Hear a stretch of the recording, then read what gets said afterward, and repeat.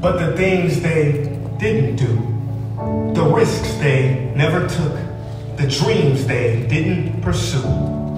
I ask you, will your last words be, if only I had, hey, you, wake up. Why do you exist? Life is not meant to simply work, wait for the weekend, and pay rent. No, no, I don't know much, but I know this. Every person on this earth has a gift.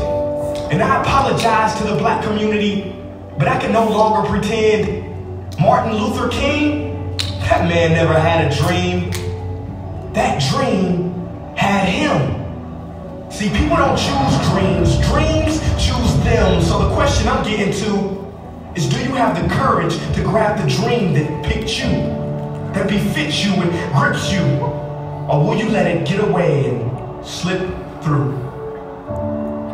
You know, I learned a fact about airplanes the other day. Now this was this was so surprising. See, I was talking to a pilot and he told me that many of his passengers think planes are dangerous to fly in. But he said actually, it is a lot more dangerous for a plane to stay on the ground.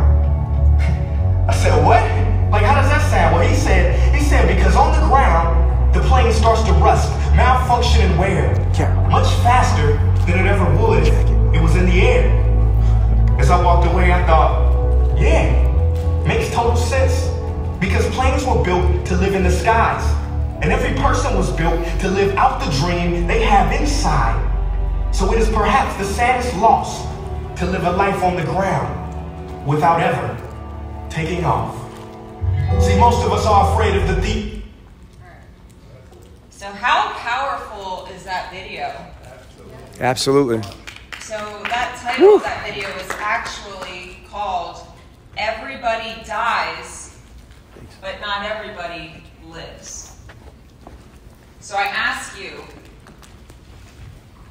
are you just dying right now? Or are you actually living?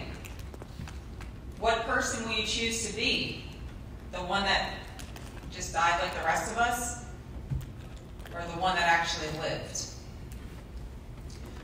Robert Kiyosaki, the author of Rich Dad Poor Dad, says that the main difference, the primary difference between rich people and poor people is how we spend our time.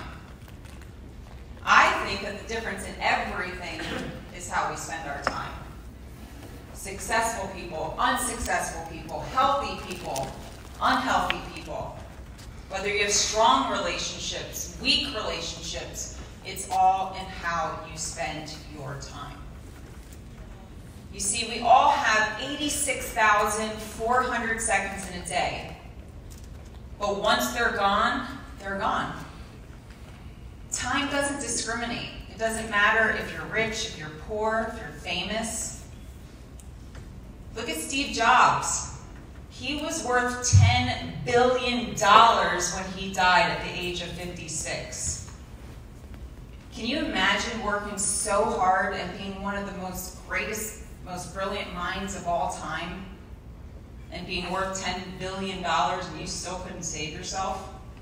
It's because time doesn't care. We're all the same. Your life, your results, personally and professionally, are a direct reflection of what you do with your time. Don't sentence me. It's a little bit of a paradigm shift Thanks. here. We've been talking about paradigms a lot. I don't want you to spend your time or think about how you're spending your time. Think about how you can invest your time. When you spend money, you don't get it back. When you invest your money, you increase your probability of an additional return. So as you're going throughout the day, when you're doing your activities, when you're in meetings, ask yourself, am I spending my time right now or am I investing it? Strong. So what's the difference? If what you're doing isn't going to take your mission forward, the organization's mission forward, help you achieve your personal and professional goals, you're spending your time. But if it does, then you're investing it. I believe time is king. I believe that it's more valuable than any product that you can have at the dealership. Now you might say, no, you know, the opportunities to do businesses. But if you don't spend your time correctly with those opportunities, you're not going to sell that vehicle. You're not going to maximize it. Some may say, no, it's CRM, but I think we'd all agree, Sean would agree. If you don't spend your time appropriately in the CRM, garbage in, garbage out. So it's all about time. Sometimes when I'm doing consulting for dealers, I hear them say, well, instead of working eight hours, now I work 10 hours to get it all done. But that's not the key, guys. It's not about working more hours. It's about working smarter, not harder. That's why we have people like Ali Reda that sell, you know, 202 units was his highest in one month. 18 Yet the days. average salesperson sells 9.6 units. It's about using your time more effectively. You see, we all have enough time. It's just hidden in the time that we're wasting. We have to make sure that the less we do means more.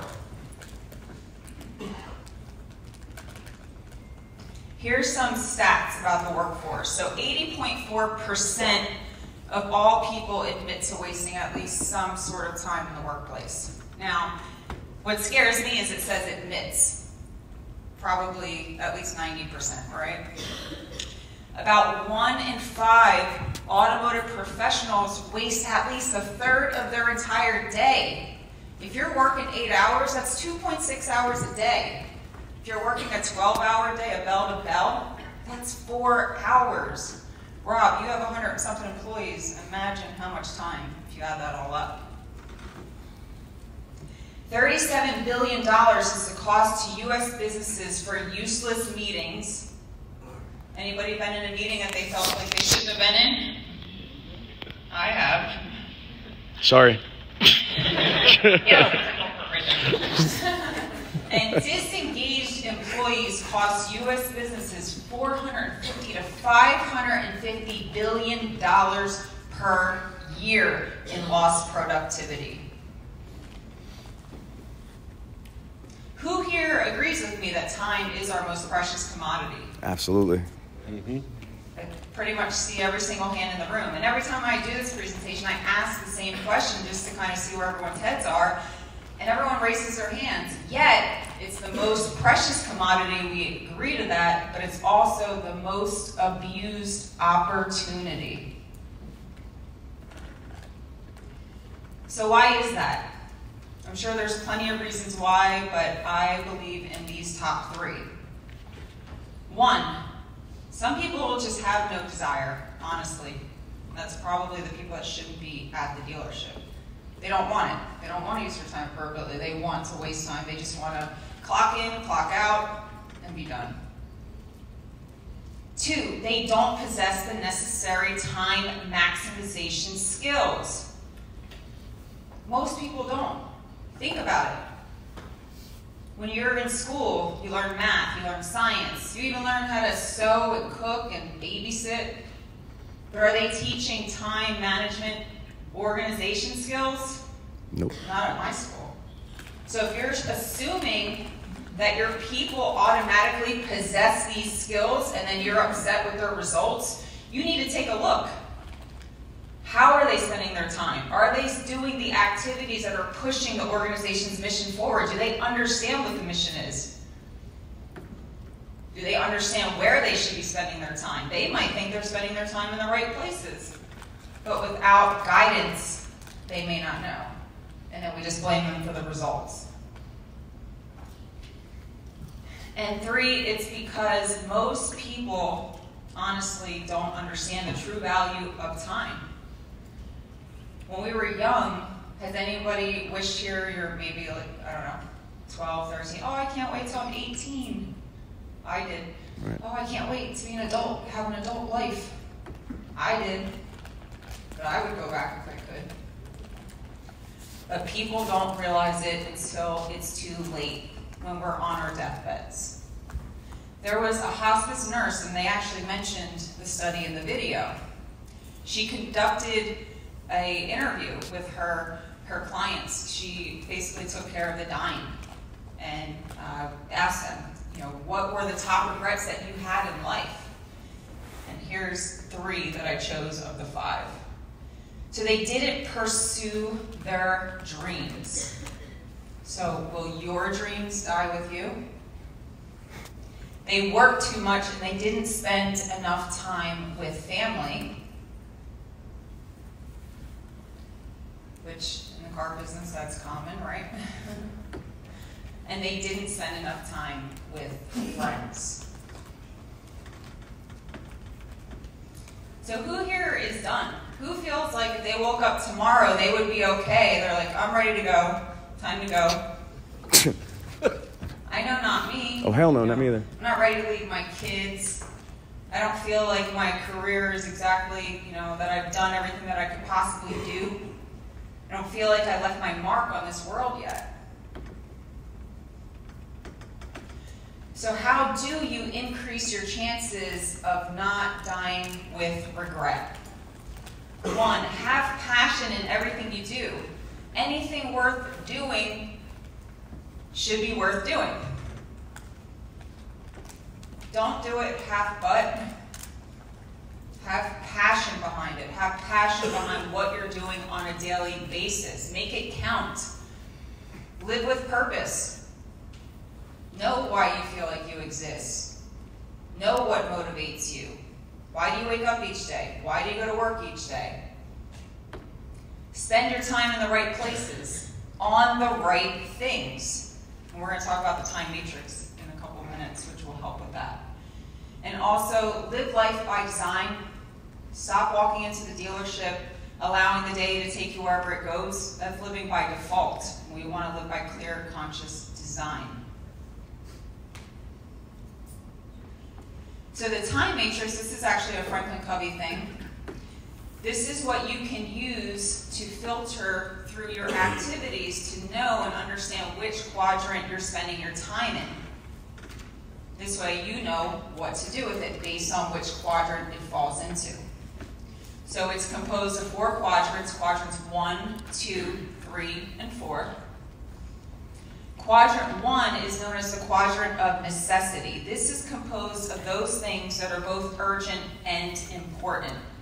That would be like an angry customer, lost keys, your babysitter's sick and you have no child care for the day.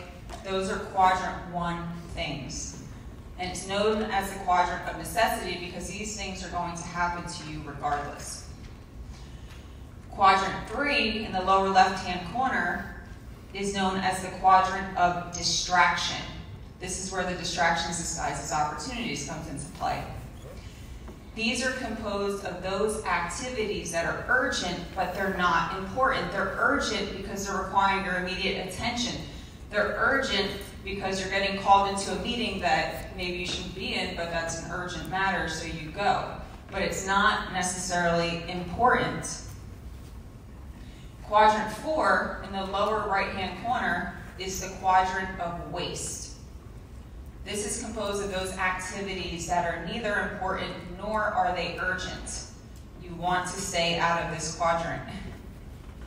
And quadrant two in the upper right hand corner is known as the quadrant of productivity, of planning, preparation, organization.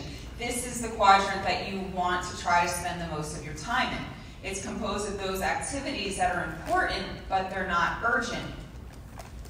But this is the very reason why we end up pushing a lot of quadrant two stuff off because it's not urgent at the moment. Going to the gym, for example, is a quadrant two activity. But it can quickly become a quadrant one activity if we don't take care of ourselves, and then we will end up in the quadrant of urgency. So what we want to do is completely eliminate as best as possible quadrants three and four, and I say you want to live above the line. So eliminate three and four and live in one and two. Now you might say, Karen, why do I want to live in quadrant one with all these crazy fires and you know, angry customers and whatnot. But remember, it's the quadrant of necessity. These are things that are going to happen regardless. But what you can do if you spend more time in quadrant two in planning and preparation, you'll have less of quadrant one. You'll have less angry customers. You'll have a plan in place if you have a bunch of staff call-outs. So you just look at those lines, you can just imagine that middle line will just be bumped over.